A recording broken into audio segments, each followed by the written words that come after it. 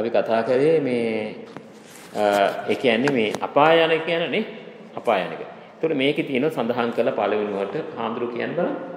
මහානාම කෙනෙකු තෙරුවන වෙත අචල ශ්‍රද්ධාවෙන් ඔව්. වාස බහුල ප්‍රඥා ජවන ප්‍රඥා ඇත්තේද විමුක්තියෙන් යුතුයද ඔහු අනාශ්‍රව වූ ඵල සමාධියත් ඵල ප්‍රඥාවත් මේ ආත්මයේදීම ලබා පසක් කොට ඒට පැමිණීම මෙසේ වෙසේ. වෙසේ. මෙසේ දුගතිය මිදුන එක නේ. ඔව්. දැන් ඊතර කියන්නේ මේ මහානාම කෙනෙක් කෙරුවන වෙත අචල ශ්‍රද්ධාවෙන් යුක්තද. අචල ශ්‍රද්ධාව දන්නවනේ.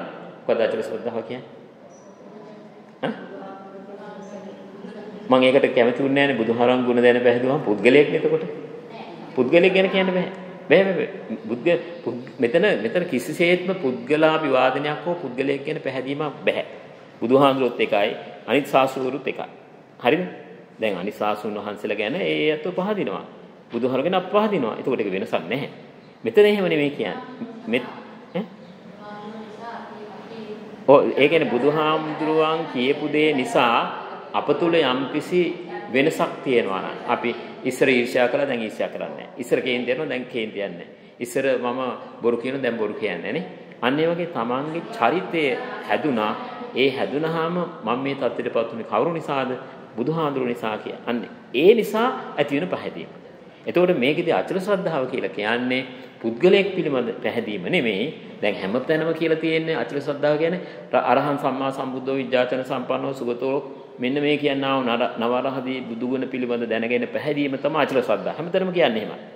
නමුත් සමහර තැන්වල කියලා තියෙන මොකද්ද අචල ශ්‍රද්ධාවේ කියන්නේ ඊර්ෂ්‍යාව, මසුරුකම, දැඩි බව, නොනැමෙන ගතිය, තරහා, ක්‍රෝධ, වෛර කියන දේවල් තමාගේ හිතෙන් බැහැරුණාම එයා කල්පනා කරනවා මම මේ තත්ත්වයටපත් වෙන්නේ කවුරු නිසාද? බුදුහාම. අන්න එතකොට එයාගේ ස්ථිර පැහැදීමක් ඇති වෙනවානේ. පැහැදීමක්. අන්න ඒක තමයි අචල ශ්‍රද්ධාව කියන්නේ. එතකොට ඒ පැහැදීම ඇති වෙන්නේ යා නිවැරදි කෙනෙක් හැටියට. නේ? නිවැරදි. දැන් ඕන තරම් ඉන්නවා මේ විශ්වවිද්‍යාල මහාචාර්යවරු බුදුහාඳුරගේ චරිත කතාව දන්න, ಗುಣ දන්න අපිට වඩා. අපි මොනවද දන්නේ? නමුත් මේ මිනිසුන්ගේ එහෙම නැහැ නේ. මේ මිනිසුන්ගේ එහෙම නැහැ. සමහරවිට චරිතය අතින් හොඳ නැහැ, වැරදි කරනනේ. ඒ ඒ ಗುಣ දැන ගැනීම නෙමෙයි. මෙතන අදහස් කරන්නේ තමන්ගේ චරිතය සකස් වීම. ඒ චරිතය සකස් වුනහම එතන තියෙන සුවිශේෂී බවක් තියෙනවා නේ. එතන සුවිශේෂී බව මොකද්ද? ඒ සුවිශේෂී බව තමයි තමන් තුල සීල සමාධි ප්‍රඥා වැඩිලා. නේ? ඒ කියන්නේ දැන් තමන්ගේ වැරදි අඩුපාඩු නැත්නම් එයා මොන වගේ කෙනෙක්ද? සිල්වන්ත කෙනෙක්. ඒ වගේම එයාගේ හිතේ එකඟ බව සමාධිය තියෙනවා නම් එයා සමාධිය තියෙන කෙනෙක්. ඒ වගේම තමයි එයාට මේක ලෝකේ සැබෑ தත්ත්වේ සැබෑ தත්ත්වය වැටහෙනවා නම් එයා එතකොට ප්‍රඥාව යුක්ත කෙනෙක්. අන්න එතකොට මොකද වෙන්නේ? ඒ ඒ ඒ චරිත ශක්තිය තුල තමයි මෙතන අචල ශ්‍රද්ධාව කියලා කියන්නේ. අචල අචල ශ්‍රද්ධාව කියලා කියන්නේ. දැන් ඊළඟට තියෙන එක මොකක්ද හම්? මොහු අචල ශ්‍රද්ධාවෙන්ද බාසු ප්‍රඥා ජවන ඔව් ප්‍රඥා බහසු ප්‍රඥා ජවන ප්‍රඥා. බහසු කියලා කියන්නේ ආලෝකමත් වෙච්ච ප්‍රඥාව. ජවන ප්‍රඥාවේ කියලා කියන්නේ වේගයෙන් ඇතිවෙන අවබෝධය. දැන් මේ මේ මෙතන අවබෝධය දෙකක්. බහසු ජවන බහසු ආලෝක. දැන් කරවලයින් අපිට. දැන් අපිට මොනවාක් පේන්නේ. හැබැයි ආලෝකමත් වෙච්ච ගමන් මොකද ක්ෂණයෙන් අපිට දැනගන්න පුළුවන්. ක්ෂණේ. දැන් අපි යම් කිසි දෙයක තිබෙන්නා වූ යථා තත්ත්වේ ටිකක් වෙලා යනවා අපිට තේරුම් ගන්න. පැයක් දෙකක් යනවා. නමුත් අර පුරුදු කරපු එක්කිනාට ක්ෂණයකින් දැක ගන්න පුළුවන්. හරියට මේකේ ලයිට් එකක් අහම මේ මුළු ශාලාවම පේනවා වගේ. බහසු පඤ්ඤා. ජවන පඤ්ඤා කියන්නේ වේගයෙන් ක්‍රියාත්මක වෙනවා. අපේ බොහොම මන්දගාමී. නේ? අර මොකද්ද ඉබ්බයිහාවය වගේ. ඒක නිසා ඒ ප්‍රඥාව ක්‍රියාත්මක වන ස්වභාවය තමයි මෙතන කියන්නේ. මෙතන කියන පුද්ගලයා ආලෝකමත් ප්‍රඥාවක් වගේම තමයි ජවන ප්‍රඥාවකුත් තියෙනවා. ඊළඟට මොහු අචල ශ්‍රද්ධාවෙන්ද බාසු ප්‍රඥා ජවන ප්‍රඥාවෙන්ද එහෙත් විමුක්තිය නැති ඕරම්භාගිය සංයෝජන ශ්‍රේ කිරීමෙන් අන්තරා පරිනිබ්බායි උපහංච නෑ ඊට ඒ පළවෙනි එක කිව්වේ නෑ නේද අපි? විමුක්තියෙන් යුක්ත වූයේ අනාශ්‍රව ඵල සමාධිය. පළවෙනි එකේ තියෙන්නේ එයා එතකොට ඒ බහසු ප්‍රඥා, ජවන ප්‍රඥා තියෙනවා. ඒ වගේම විමුක්තියෙන් යුක්තයි. ඒ කියන්නේ මිදිලා, රහත් වෙලා. එතකොට එයා අනාශ්‍රව වූ ඵල සමාධිය. ඒ කියන්නේ ආශ්‍රව ධර්ම නැති ඵල සමාධිය. සෝවාන් අකුදාගම අනාගම අරියත් ඵලයටපත් වෙලා. සමාධිය සමාධියත් ප්‍රඥාවත් මේ ආත්මයේදීම ලබා පසක් කොට ඵලයට පැමිණ. එතකොට එයා දුගති මිදිච්ච කෙනෙක්. කවුද? රහතන් වහන්සේ. එයා රහතන් වහන්සේ දුගතියෙන් මිදිලා.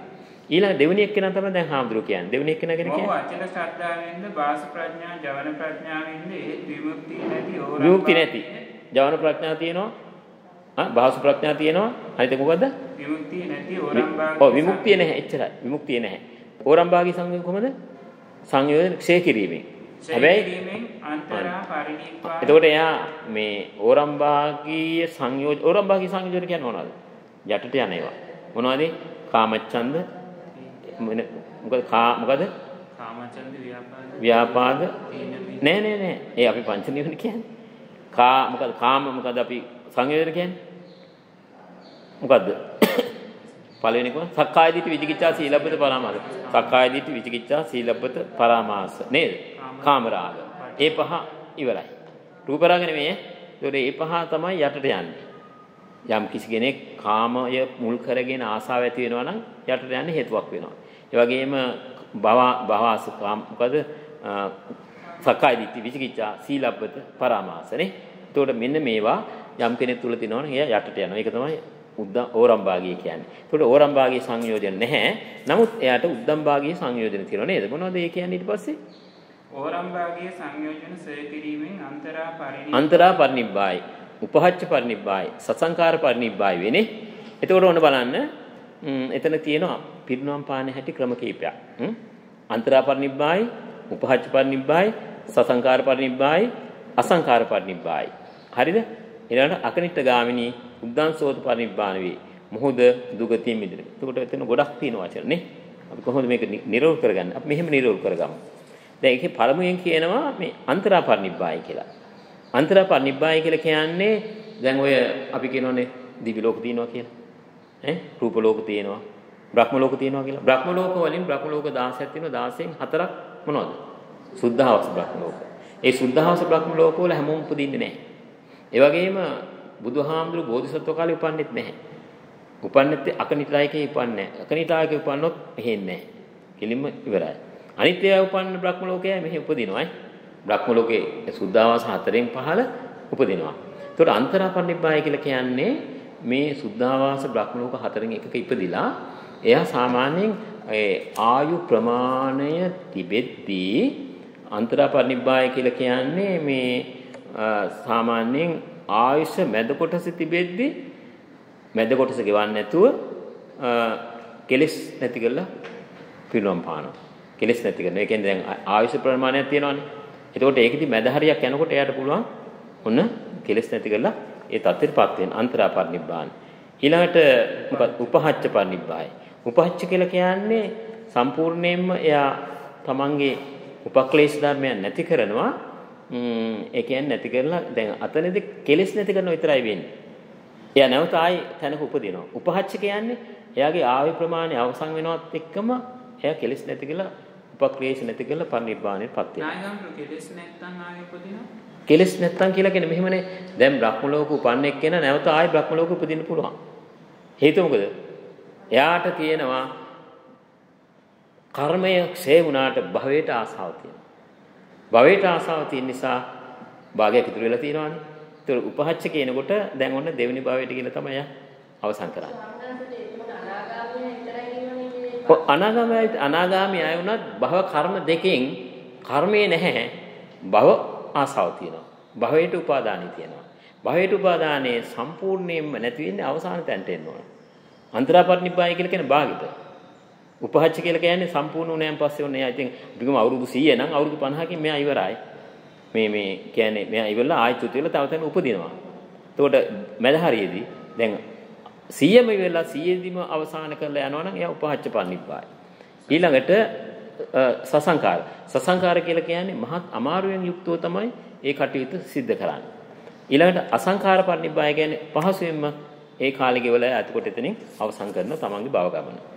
ඒතකොට මෙන්න මේක තමයි ඔය කියන මේක. අකනිට්ඨ උද්දංසෝත පරිනිබ්බාන කියලා කියන්නේ අකනිට්ඨ ගාමිනී. ඒ කියන්නේ අකනිටා බ්‍රහ්ම ලෝකයට යනසුළු ඉහළටම යනසුළු උද්දංසෝත කියලා කියන්නේ එහෙම පින්වම් පාන එක්කෙනා තමයි එතකොට ඔන්න ඕ දුගතිය මිදෙන්නේ අවසාන එක්කෙනා. එතකොට බ්‍රහ්ම ලෝකෙට ගියාට බෑ. බ්‍රහ්ම ලෝකේ පහළ බඹලෝ ගියා නම් අර හතරෙන් එකකට එන්න ඕන. හතරෙන් එකකට ගියත් අකනිටා බ්‍රහ්ම ලෝකෙට යනවා. අකනිටා බ්‍රහ්ම ලෝකෙට ගියලත් පහසුවෙන් පිසිම් ප්‍රතිපත්තියක් නැතුව පියීම මහන්සියක් නැතුව යන්න පුළුවන්කම තියෙනවා. ඉතින් මෙහෙමයි. දැන් ඔයවා ගැන මේ සමහර හාමුදුරු හරියට විවේචනය කරලා තිනවා. මම විතරක් නෙමෙයි හොඳද? සමහර හාමුදුරු කියන දේ මෝඩ විදිහට පිළිගන්නවා. සමහර හාමුදුරු පදෙන් පදේ විවේචනය කරලා තියෙනවා. දැන් මම මේ කියපු කොටස මම එන්න ඉස්සෙල්ලා කියුවා. අර හාමුදුරු කෙනෙක් බොහොම ප්‍රසිද්ධ හාමුදුරු කෙනෙක් හොඳට විවේචනය කරලා තිනවා. ඉතින් ඒවා අපිට එකපාරට බැහැර කරන්න බෑ. ඒක හොඳට කියවලා කියවලා කියවලා අපි මේක තේරුම් ගන්න ඕන. අපි ඒක දවසක් කියමු. ඉතින් සිල් ගත්ත හැමෝටම මේක තේරෙන්නේ නැහැ නේ? තේරෙන්නේ නැහැ. එතකොට මේ ඔන්න ඔය විදිහට පරිණිරවාණකය කියනවා. ඊට පස්සේ තුන්වෙනි කෙනා කොහොමද? අචල සද්ධාව ඇතත් බාසු ජවන ප්‍රඥා නැති විමුක්තිය නැති රාග දෝෂ මෝහ නැති නිසා එක්වරක් මනලෝ පැමිණ නිවන් ලබයි. එතකොට දැන් අචල සද්ධාව තියෙනවා. අචල සද්ධාව තියෙනවා. බාසු ප්‍රඥාව ජවන ප්‍රඥාව නැහැ. ප්‍රඥාව තියෙනවා. අර ආලෝකමත් ප්‍රඥාවක් නැහැ. වේගෙන් ඇති වෙන ප්‍රඥාවක් නැහැ. හරිද? ප්‍රඥාවක් නැහැ. බාසු ප්‍රඥාවක් නැහැ. රාග දෝෂ මොහ නැහැ. ඒ වගේ මෙයාගේ රාග දෝෂ රාග නැහැ. හැබැයි දැන් ඔයත් අහලා තියෙන කොහොමද? රාගක් වේව මොහක් වේව නිබ්බානන්ත උච්චති. නමුත් මෙතන කියනවනේ ඒ ඒවා නැහැ කියලා. නමුත් එයා ඒ තාම සසර රාග දෝෂ මොහ නැහැ. ඊළඟට අචල ශ්‍රද්ධාව ඇතත් වාසු ජවන ප්‍රඥා විමුක්තිය නැති ඒ ත්‍රිවිධ සංයෝජන සොය කිරීමෙන් සෝ නෑ එතකොට දැන් අතනට කියවනේ මේ මේ රාග දෝෂ මොහ නැති නිසා එක්වරක් මනුලෝට පැමිණෙනවා. එයා එක්වරක් මනුලෝට පැමිණෙනවා. රාගයේ නැති, දෝෂේ නැති, මෝහේ නැති පුද්ගලයාත් එක් සැරයක් මනුස්ස ලෝකෙ උපදිනවා. තේන්නේ? එක් සැරයක් ඈ? වෙන්න පුළුවන්. වෙන්න පුළුවන්. සකින්ගාගා එක සැරයයිනේ. එක සැරයනේ අය යන්නේ මේ ලෝකෙට. සක්‍රදාගාම වෙන්න පුළුවන්. එක සැරයනේ. නායකම් සක්‍රදාගාම කෙනෙක් මනුස්ස ලෝකෙ ඉපදිනවද? ඔය කියන්නේ සකින් ආගාම කියන්නේ එක සැරයක් එනවා කියන්නේ කාමාවචර ලෝකෙ ගෙනවනේ. එකවරක් එන්න පුළුවන්. නෑ නෑ එකවරක් එන්න පුළුවන්.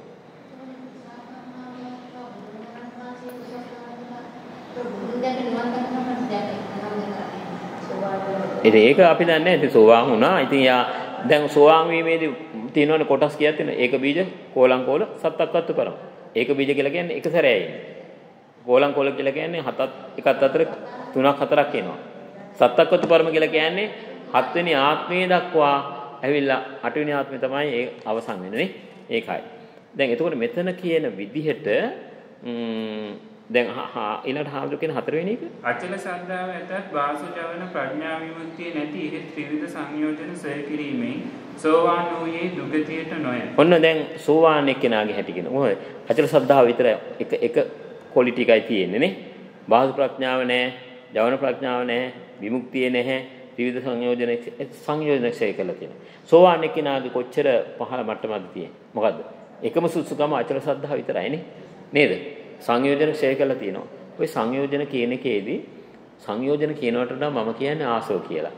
මොකද අනුසේ ධර්ම වල දෙකයි. එකක් තමයි මොකද ditthi සංයෝගේ අනිත් එක විචිකිච්ඡා. ditthi විචිකිච්ඡා දෙක මේ අඩු කිරීමෙන් තමයි කෙනෙක් සෝවාන් වෙන්නේ. ඒතකොට සෝවාන් එක්කෙනාගේ මොනවද තියෙන්නේ? බාහුස ප්‍රඥා නැහැ, ජවන ප්‍රඥා නැහැ, විමුක්තිය නැහැ. මේ මොනවා තියෙන එකම දේ තමයි අචල ශ්‍රද්ධාව. තුනුරුවන් පිළිබඳව නොසැලෙන හැබැයි තුනුරුවන් පිළිබඳව නොසැලෙන ශ්‍රද්ධාවත් එක්ක එයා හැඩගැහිච්ච කෙනෙක්. හොඳ පෞරුෂයක් තියෙන කෙනෙක්. හොඳට හැදිච්ච කෙනෙක්. මොන විදියකින්වත් වරදට යොමු නොවන කෙනෙක් නේ. අනේ ඒ ඒ ඒ ඒ ගුණේ නිසා තමයි අපි එතන කියන්නේ ඒකට සෝවාන් වුණා කියලානේ. ඒතකොට එයා අපායට යන්නේ නැහැ. ඒතකොට දැන් ඊළඟට කියනවා අපායට නොයන සුළු.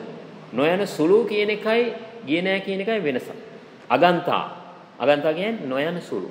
ඒතකොට අනිත් අය මුලින් කියපුවා යන්නෙම නැහැ. යන්නේ නැහැ. ඒගොල්ලෝ හරි. දැන් මේගොල්ලෝ යන්නත් පුළුවන් නොයන්නත් පුළුවන්. හුඟක් පිට නොයන සුළු. නොයන සුළු අය කොහොමද කියන්නේ?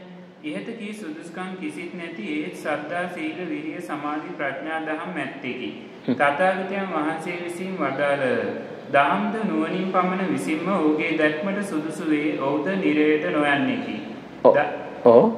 ධම්මා පච්චය මත් ධම්මා ධම්මා පඤ්ඤාය මතසෝ නිඥාන කමන්ති. එතකොට දැන් මේ ඒ කියන්නේ දැන් අර කියන සුදුසුකම් එකක්වත් නැහැ. ශ්‍රද්ධාව නැහැ. අචල ශ්‍රද්ධාව නැහැ. ඒ වගේම සද්ධා සීල විරිය සමාධි ප්‍රඥා තියෙන හැබැයි. සද්ධාව තියෙනවා, සීලය තියෙනවා, විරිය තියෙනවා, සමාධිය තියෙනවා, ප්‍රඥාව. සද්ධා සීල විරිය සති සමාධි ප්‍රඥා. මේ ප්‍රඥාව තියෙනවා සාමාන්‍ය තමන් ඒව ගැන දන්නවා. ඒවා අනුගමනය ඒවලඟ තියෙනවා. ඊළඟට තථාගතයන් වහන්සේ වදාළ දහම් නුවණ තමන්ගේ ඥානයේ හැටියට දන්නවා. දන්නවා ඔහුට ඔහු මේ නිරේත යන්නේ නැහැ. කොද්දුරට යන්නේ නැහැ. නේ? ස්ථිරව කියන්නේ නමුත් යන්නේ නැහැ කියලා කියනවා. ඔය එක්කෙනෙක්. ඒ 6 වෙනියා. ආ පස්සේ ඒ 6 වෙනියා සද්ධාදී දහම් පමණට ඇති තථාගතයන් වහන්සේ පිළිබඳ සද්ධා මාත්‍රයක් ප්‍රේම මාත්‍රයක් ඇති මොහොත නිරේට නොයයි. මහනාම නිසර බිමක කුණෝ බීජයක් වැසි ජලයක් නොලැබ පවතින්නේ නොවැළේද. එපරිදිම මනාකොට දෙසූ දහම නපුරු කොට දෙසන ලද්දේ මේ මම විෂම කෙතෙයයි පවසමි. සරුබිමක සරුබීජයක් වැසි ජලය ලැබ වැඩේද මෙයම මනා බීජයයි කියමි. මහනම් සරකානි මැරෙන කල ශික්ෂාව සම්පූර්ණ කරන සුළු විය. ඔය එතකොට දැන් එතන කියන්නේ මොකද්ද? දැන් මෙතන අන්තිමට කිව්ව කෙනා සද්දාදී දහම් පමණට තියෙනවා. සද්දා සති වීර සමාධි ප්‍රඥා යම් කිසි ප්‍රමාණයක තියෙනවා. ඒ වගේම සද්ධා මාත්‍රයක් ප්‍රේම මාත්‍රයක් තියෙනවා. බුදුරජාණන් වහන්සේ පිළිබඳව යම් කිසි ආකාරයක ප්‍රේම මාත්‍රයක් සද්ධා මාත්‍රයක් තියෙනවා. එයත් එතකොට නිරියට යන්නේ නැහනේ. ඒකට අපි හයවෙනි කැටගරි එක. අපි හයවෙනි කොටසට අයිති වෙන්නේ. නේ? අපි ධර්මය දන්නවා. බුදුහරු ගැන විශ්වාස යම් කිසි පිළිගැනීමක් තියෙනවා. ඒ නිසා අපි නිරෙන් අයින් වෙන්න පුළුවන්. හැබැයි අපේ චරිතය අඩුපාඩුකම් තියෙන්න පුළුවන්. චරිතය අඩුපාඩුකම් නැතිවීම තමයි අචල ශ්‍රද්ධාව කියලා කියන්නේ. යන්නත් පුළුවන් යන්නත් පුළුවන් නොයන සුළුයි හුඟක් වෙලාවට. නොයන සුළුයි. ඉතින් ඒ නිසා අපිට අපායේ නොයන තැනට ඉඩකඩ වැඩි. දැන් ස්වාමීන් වහන්සේලා කියන හැටියට අපිට ඉඩකඩ වැඩි අපා යන්න. දැන් ඒ නිසා මේ මේ මම මේ බණ කියන්නේ ඉතාම වැදගත් වෙනවා. මොකද මිනිස්සු අනවශ්‍ය විදිහට බය වෙන්න එපා. නේ? බය වෙන්න එපා. බය නොවි Tamanට පුළුවන් තරම් දුරට කරන කුසල දහම් කරනවා. වැරදි වුණාය කියලා තැවීම කිසිසේත්ම වැඩක් වෙන්නේ නැහැ. ඉදිරියට යන්නේ කරන්න ඕන නේ? දැන් ওই සරකන්ලා මරණ මංචකයේ ඉඳද්දි කුසල කරපු අය. ධනංජය බමුණා මැරෙන්න ඔන්න වෙන්න කියලා තියෙන කුසල කරපු අය නේ? හුඟක් දෙනෙක් එහෙමයි. ඉතින් ඒ නිසා ඒ ටික අපි තේරුම් ගන්න ඕන. අන්නේ තේරුම් ගත්තන් පස්සේ අපිට පුළුවන්කමක් තියෙන. එතකොට යම් කිසි මට්ටමකට අපේ මේ ධර්මතාවයෙන් දිනු කරගන්න. හොඳයි එහෙනම් අපි දැන් ධර්මපන්ති අවසන් කරමු. මේ සියලු දෙනාටම ධර්මඥානය ලැබේවා කියලා ප්‍රාර්ථනා කරමු.